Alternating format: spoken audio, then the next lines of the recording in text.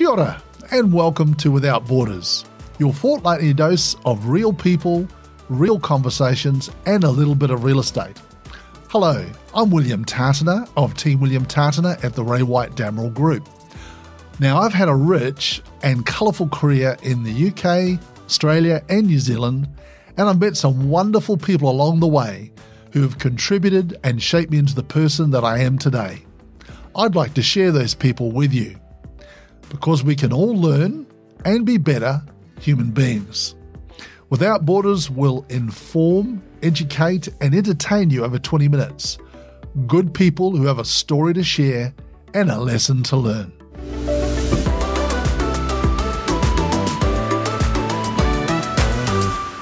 Well, today my guest is Gower Buchanan, who's the CEO and business owner of Ray White Damerell Group.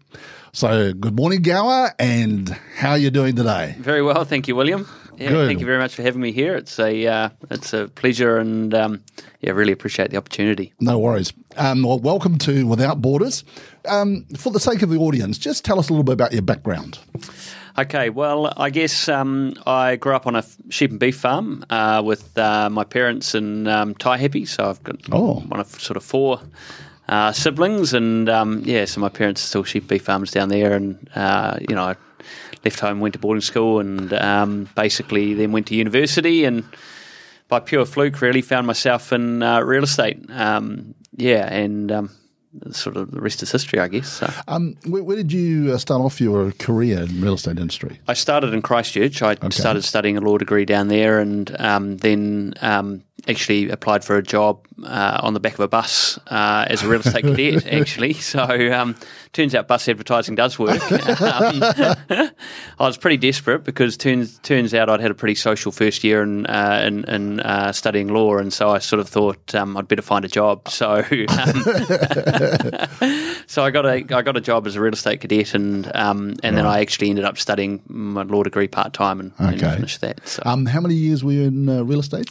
uh, as, as a salesperson? I'm Uh, so for just on four years as a, as a as a salesperson before I made the move from Christchurch um, up to Auckland. So. What would you, uh, obviously from that experience, what would be a couple of learnings? Uh, because there would be people obviously listening to this and thinking Mm. about real estate agents, you know, what's, what's the deal? They just think we just put uh, open home signs out, some, uh, some advertising and it's sold. But it's Mm. a lot more than that. Yeah, absolutely. I think um, my learnings from from my time in Christchurch were is really centered around you know having a focus for what the customer actually really needs and what's important, what's really important to them, and I think all the key fundamentals remain the same. You know, from you know, everyone that I've met who's been in real estate for, you know, 20, 30 years or, or just starting out today, I think the fundamentals of good quality communication, you know, being Sure. um, open and transparent, um, you know, attracting buyers to to property uh, through you know a broad range of marketing, and then putting those buyers in competition with one another. I think those sort of those fundamentals um, that I learned in Christchurch um, still remain true today. So, Um, what would be the funniest sale you ever did in that, in your time down there? oh. That's a good one. I, I met a um, I met I met I, obviously I was pretty young when I first started, so Sure. I, I met a lot of sort of parents of mates through you know twenty firsts, going to twenty firsts, and um, I always had to sort of knock off pretty early, um, you know, because I had open homes the next day, right? So. Um, which was probably a good thing if I'm honest. Um, But I um, I met um, um, a mate of mine, his parents, and they were um, they just sold a couple of dairy farms, and so they needed to buy some. Um, they needed to buy a couple of rental properties, and so I sort of ended up. Um, taking them through a number of sort of um, student flats, sort of, which ended up being my mate's flats, sort of trying to sell sell um, Mr. and Mrs. Whitehead um, a uh, a um, sort of uh, you know a couple of investment properties, and I think you know I think what, what I most enjoyed about about that experience was getting to know my you know my friends' parents, but but also just the way that they like to negotiate was um, was also was also pretty hard case. So, um, and I could see a lot of similarities between uh, Paul and um, and uh, his son James. So um, yeah, I think that was sort of um, one of my one of the, one of the experiences that stands out. So yeah, Oh, I was- fantastic. I was, pretty privileged to be able to help help. Um, after that, you moved to Auckland, wasn't it? Yeah, I did. And Yep. then what was the attraction to come to Auckland? Um, well, I think for me, it was um, I identified pretty early on that I wanted to own a business. Um, and uh, so I think I started. I, I really started looking around, right around the country, really, for business owners that were thinking about retirement. Um, because I, I, what I identified in the business that I worked in was that although it was a great business and um, and the leader, leadership of that business was fantastic, there was also some areas where someone who'd been in real estate for a wee while um, but who was also, you know, of the younger demographic might actually be able to add some value. And so I knew I couldn't start a business on my own, um, and I knew I had to go on that journey. Um, and so it was really, it wasn't necessarily about Auckland. It was more about finding the right Okay. um, business owners to to go on that that learning journey that I needed to go on, and and and and and from their perspective, going on a succession planning journey. So it was um, it was by pure fluke and pure good luck, and uh, that I sort of found myself in Ponsonby to start with, and Okay. in Auckland. So um, yeah, it's sort of yeah hard to believe really, but Yeah. um, but I, I sort of ended up in what I'd sort of almost term real estate mecca. So um, yeah, So when you came and joined the uh, Damerell Group, because Mm. obviously Simon Damerell was the owner then, um, how did what was your process or what was your uh, career path in there? How did that happen? Yeah, so I mean, Simon and Bryce were two of my sort of key mentors. So Bryce Airwaker was also um, also owned the office at, at, at that stage along with Simon, and um, I think they, you know, they both were um, incredibly generous to me and gave me a lot of support and and advice. Um, and it was ultimately it was good for them um, because basically the career journey sort of started with me doing whatever Simon or Bryce didn't want to do, um, and um, and so that was fun As you do. Um, as you do. yeah, I mean that, that, that was the first lesson in delegation. I think I think there's a question Yep. coming up about that shortly.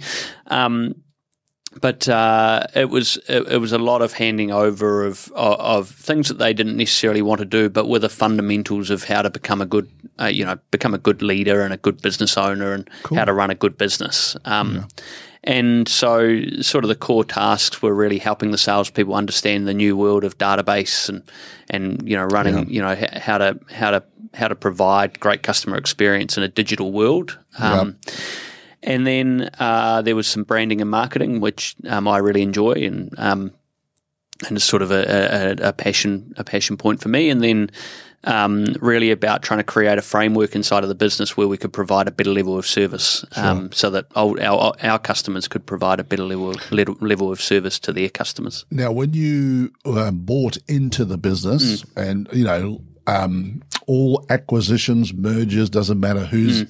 New business owner, it all doesn't go smooth. No, no. So, um, name a couple of instances where it didn't go smooth, but you turned it around. Yeah, okay. Well, that's a good question, um, and that wasn't actually on the on the list of questions either, William. So you know that's Uh, that's a tough one. No, we're, we're sometimes we're freelance. Yeah, yeah, hundred percent. Look, I think um, there's like a, I would say there's a three second moment where when you stand up at a sales meeting and you you know sort of you say you know sort of say to the team you know this is what we want to do and Yeah. there's sort of that three second moment where you're looking at them, they're looking back at you, then they're looking at their colleagues, and then they're making a decision in that three second moment as to whether or not you know that's actually a good idea. And I think, um, in all honesty, I probably wasn't ready for. Um, I probably wasn't ready for business ownership to start with, in particular when when Bryce, um, you know, made the decision that he wanted to exit. It was probably a couple of years too early. Right.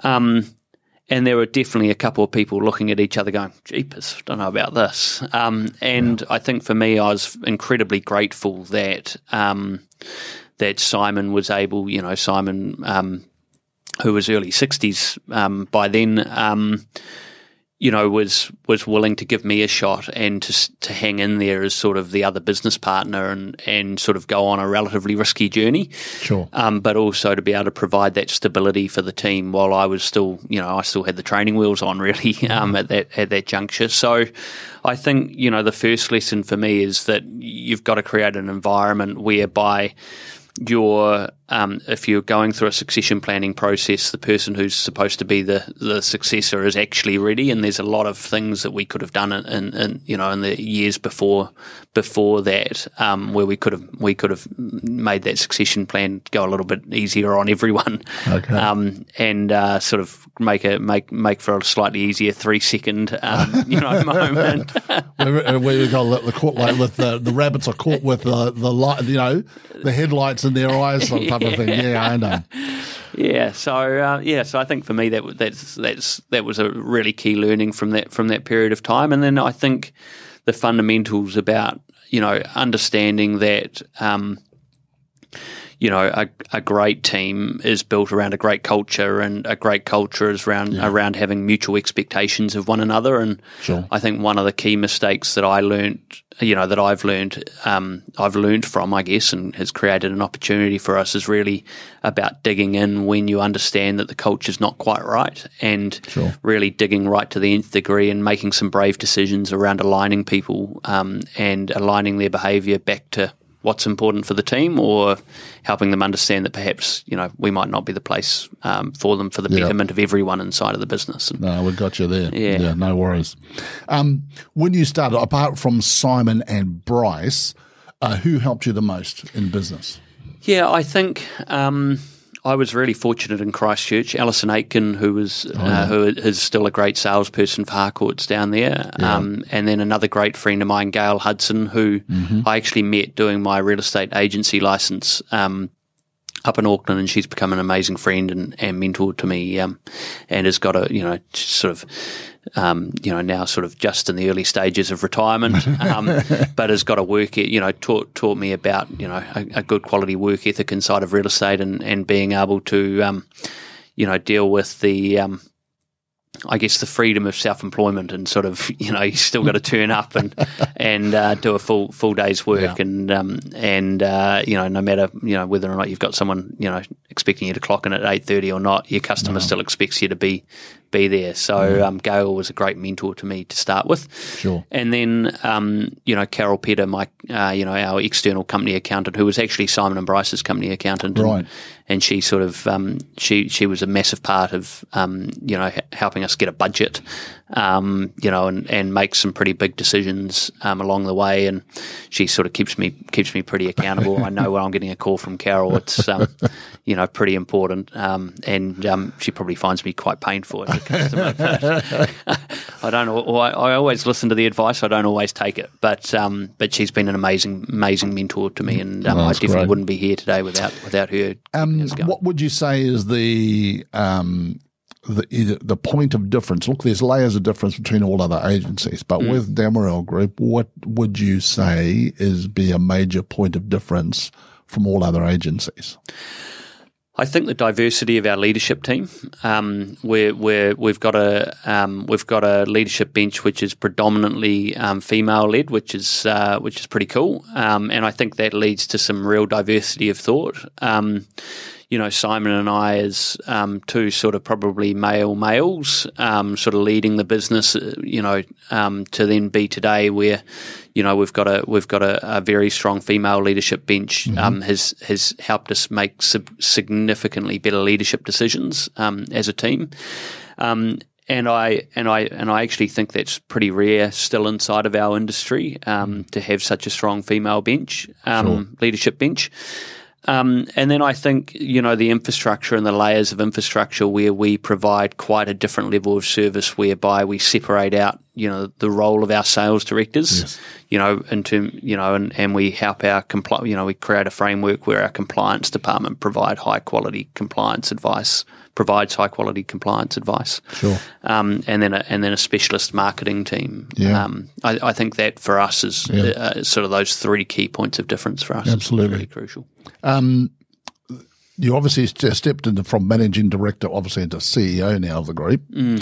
Um, what are the two challenges that you are facing now going into the future? I think um, the way of the way the way people expect to be working um, has changed in the last two years, and you know what you know in the past, I think people got a lot of value out of being inside of the office and having a lot of water cooler chat, um, and and learning from one another. But I think, you know, the challenge for us now is how do you create a framework whereby people actually quite enjoy working from home, mm. but they still want to be part of a high performing culture. They still want to have the water cooler chat. They still want to have the sense of belonging to an organisation. And how I think the challenge for us is how do we how do we create a sense of belonging whereby um, even if they're not coming into the office every, if, if people aren't coming into the office every single day, how do we help people feel like they're a part of something bigger than themselves, or they're going on a journey with with the organisation? And so, I think that's probably the, the the the main challenge that I'm sort of grappling with at the moment. And then secondly, I think you know our industry. You know, when I first started, I was pr- pretty. You know, I was probably I was, well, I was one of the youngest um, to to be in the mm. industry at the time, and um, and I think you know now we're really fortunate that we've got a real you know we've got quite a breadth of age demographic yeah. inside of our industry, that's which good. is really cool. But I think the next change you know that's coming is really about how do we make sure that um, the customer is nurtured um, for the period of time where they own a home and they're mm-hmm. provided with high quality advice and information for that period of what I would call passive enjoyment of the home that they're living in or the investment property that they yeah. own. And then helping that and, and, and, and then and helping the salesperson keep in touch with them for that period of time until down the track they make the decision that they're going to sell. Um, sure. Because I, I think every other industry is sort of starting to clock that. And I think yeah. our real estate industry's got a long way to go yeah. um, around understanding what that really looks like. For sure. Um, when you stepped into the uh, obviously the CEO role or even managing director, um, name name one of your biggest mistakes that you made and how you what you learnt. What was the learning from that? Because um, look, when people listen to our, um, the podcast and so forth, you're always looking to what's a little golden nugget that I need for my own personal yeah. life or business life?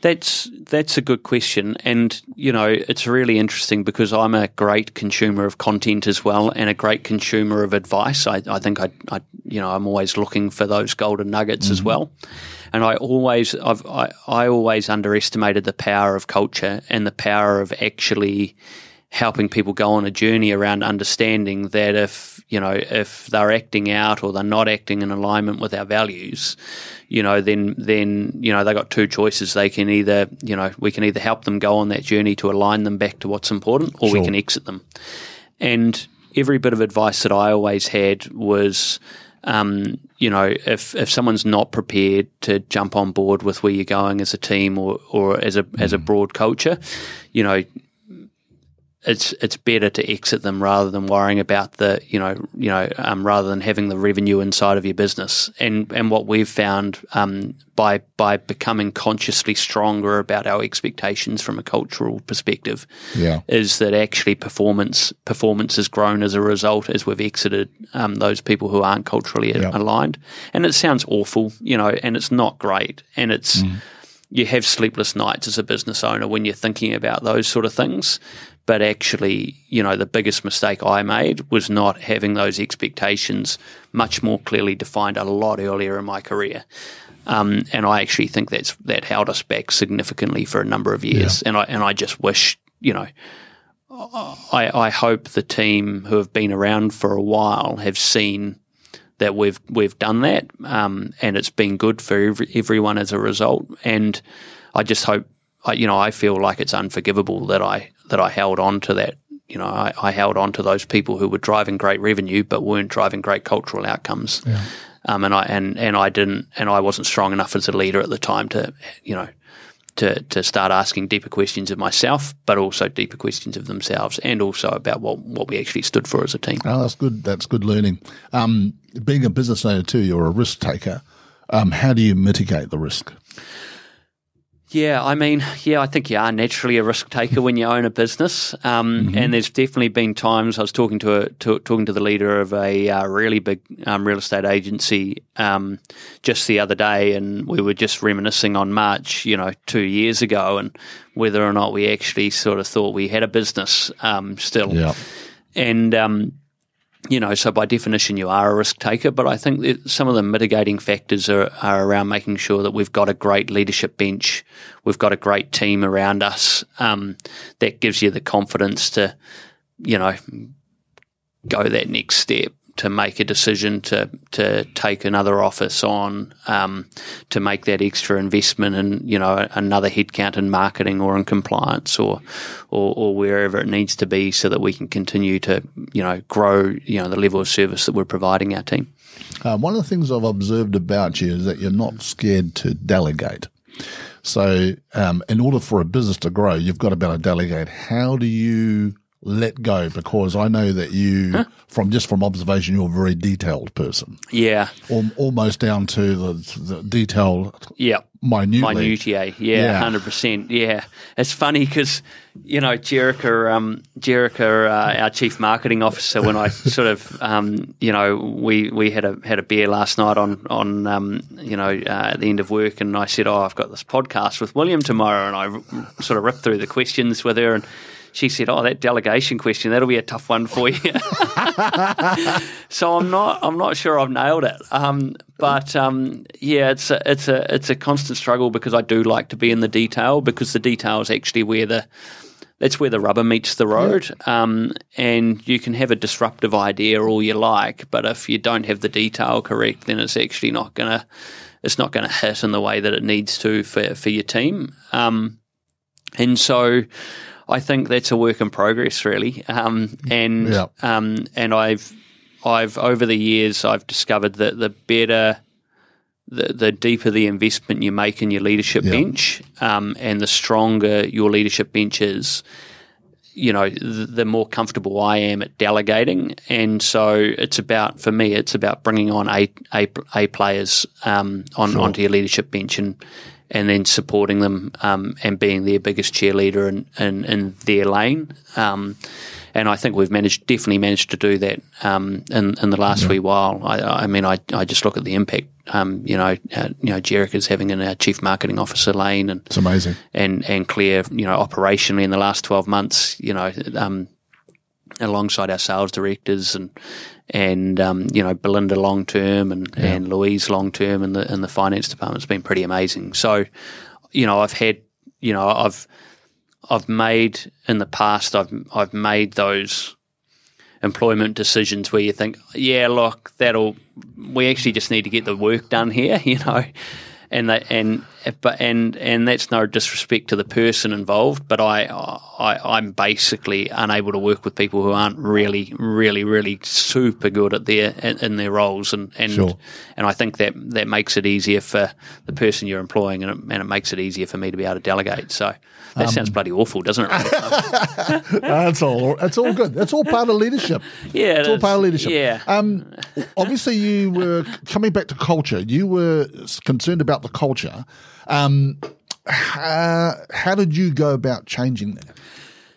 Um, I think the first step that we made was bringing on was was actually understanding that there were some things that I was never going to be great at. I'm actually not great at sales meetings. I'm actually not great first thing in the morning. Um, first thing in the morning for me is my time, but every sales meeting is at eight thirty. You know, eight thirty on a Tuesday or a Wednesday morning. It's not prime time for me. Like, um, and so for me, it it, it was about uh, the. I think the first and the best step that we we ever took was bringing Belinda Henson into our business as a yeah. as a as a really strong sales director yes. um, on the team, and um, her nurturing style rubbed off some of the you know sharper edges to my personality, and, and I learned mm-hmm. a lot from a, a lot from her, um, and I think we make a great team actually. So I you know for me that it's was the good. first step. Um, and then I think you know what a bit of time um, also helps, um, where you gain where you you gain the ability to make decisions which aren't solely financially driven after a period of time, and and, and you get that luxury, um, you know.